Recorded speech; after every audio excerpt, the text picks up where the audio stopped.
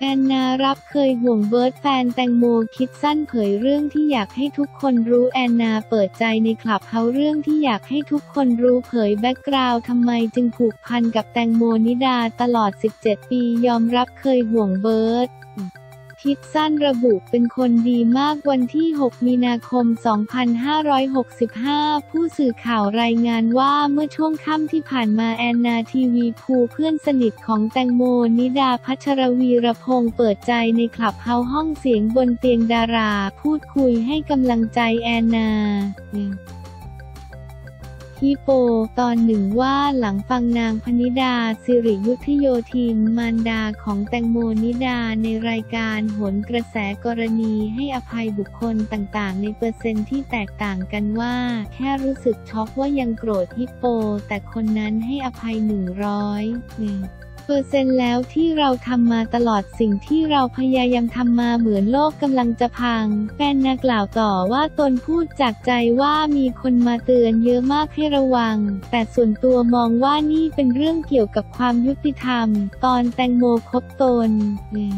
นเป็นเพียงกะเทยที่ไม่สวยอัปลักษณ์เคยไปกินไอศกรีม Swensen's ด้วยกัน ตอนแรกแตงโมไม่รู้ว่าตนไม่มีเงิน สมัยเรียนพบเงินวันละ 80 บาท 100 บาทตนบอกไม่หิว แตงโมจึงรู้ว่าตนไม่มีแล้วบอกว่าฉันจ่ายเอง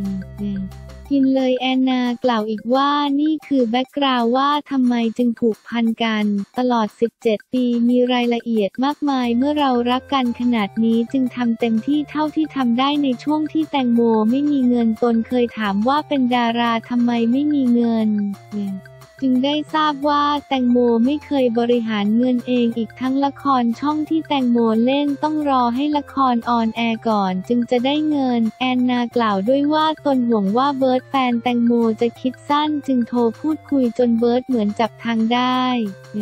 เบิร์ดจึงบอกว่าไม่ต้องห่วงวันหนึ่งตนถามว่ามาคุยกันไหมในไลฟ์ให้ห้าหมื่นบาทเพราะอยากช่วยแต่เบิร์ดบอกว่าไม่อยากได้เงินใคร เบิร์ดเป็นคนดีมากอยากให้โมมีชีวิตอยู่กับผู้ชายคนนี้ น่าจะแต่งงาน และได้ทะเบียนสมรสกันแอนนาไม่เคยเจอผู้ชายดีขนาดนี้ แอนนากล่าวแอนนากล่าวว่า หนูอยากให้ทุกคนรู้ว่าแตงโมสมบูรณ์แบบในความเป็นเพื่อน แตงโมไม่เคยนินทาเพื่อนและเคยบอกตนว่าตนทำรายการข่าวบันเทิงไม่ขึ้น เพราะไม่ใช่คนพูดถึงคนอื่นในแง่ลบที่ผ่านมาไม่เคยเปิดเผยเรื่องนี้ มีเพียง ป้าตือ เท่านั้นที่รู้แตงโมยังกล่าวกับตนว่าแอนนาควรไปได้ไกลกว่านี้ แอนนากล่าวต่อว่าแตงโมคือคนที่สอนเพื่อนทุกคนเล่นเฟซบุ๊ก สมัยนั้นคนยังไม่รู้จัก Facebook แต่แตงโมช่วยสอนและบอกว่า เธอต้องมี Facebook นะมันเป็นโลกยุคใหม่ มีหลายเรื่องที่แตงโมไม่ได้บอกสังคม วันหนึ่งแตงโมบอกว่าขนมนี้อร่อยจังเลยห่อละ 20 บาทอยากรับมาขายจังแอนนาบอกว่ากำไร 4 บาทเองนะแตงโมเห็นคุณค่าของเงินนี่คือสิ่งที่ปลื้มในตัวแตงโมขอบคุณที่มาจากมติชน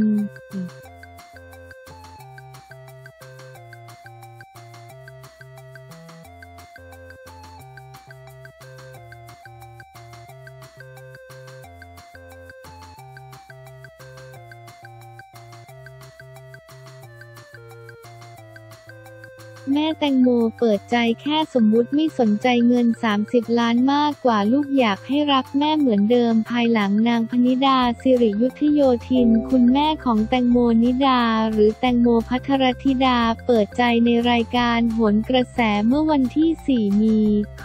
65 โดย คุณแม่เผยถึงกรณีการให้อภัยกับไฮโซปอและโรเบิร์ตและประเด็นการเยียวยาพร้อมเปิดเผยถึงกลุ่มเพื่อนแตงโมคือแอนนาฮิปโปนั้นล่าสุดวันที่ 5 มีนาคม 65 นางพนิดาได้เปิดเผยอีกครั้งผ่านรายการอีจันบันเทิง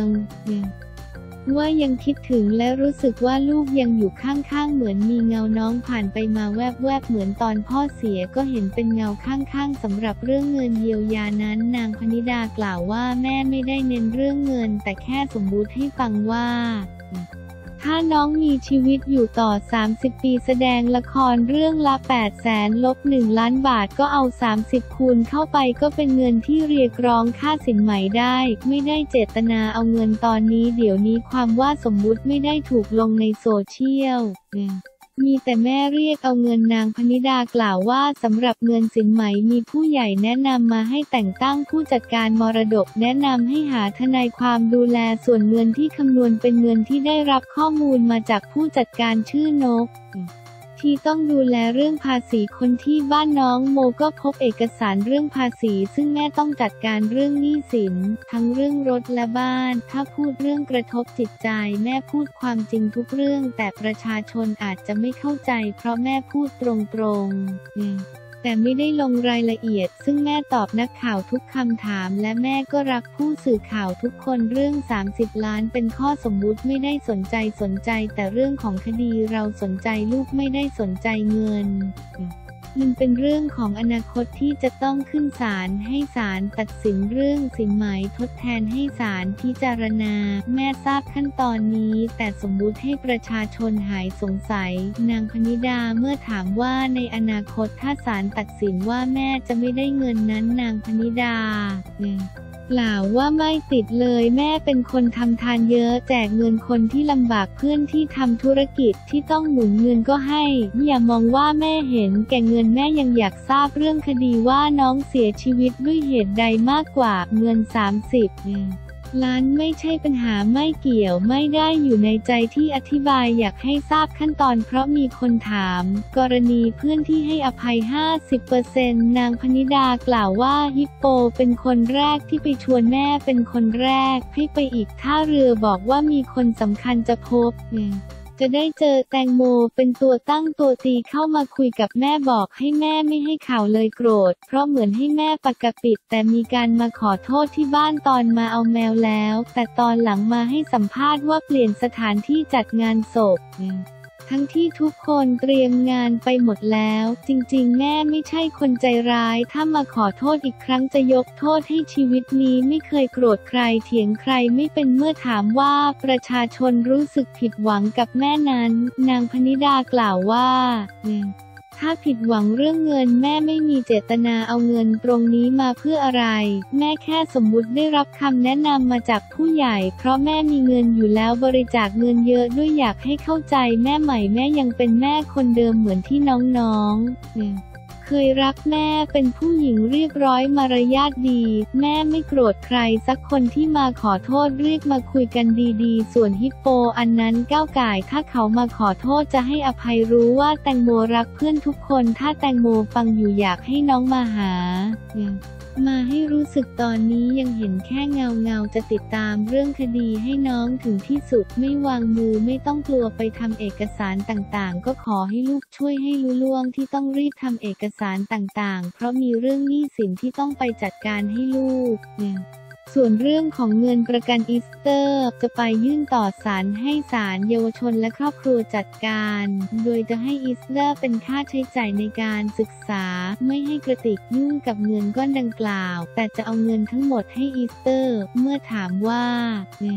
จะสู้คดีเพื่อแตงโมต่อใช่หรือไม่ นางพนิดากล่าวว่าอย่าใช้คำว่าสู้แม่ไม่สู้ให้เป็นไปตามธรรมชาติที่ตำรวจทำเพื่อแม่ดีกว่าท่านตำรวจเอ็นดูแม่มาตลอดเช่นงานที่จัดให้ปอขอโทษแม่ตอนแรกตกลงกันแค่สองคน คือโรเบิร์ตกับปอซึ่งคำพูดของปอที่อยากกราบเท้าอยากขอโทษอยากดูแลแม่เป็นเรื่องที่สุภาพกับเรามากๆ พูดกับเราเพราะมากสุภาพมากแม่เป็นคนชอบคนสุภาพคนคิดว่าเราเข้าข้างในความรู้สึกเขาเป็นคนดี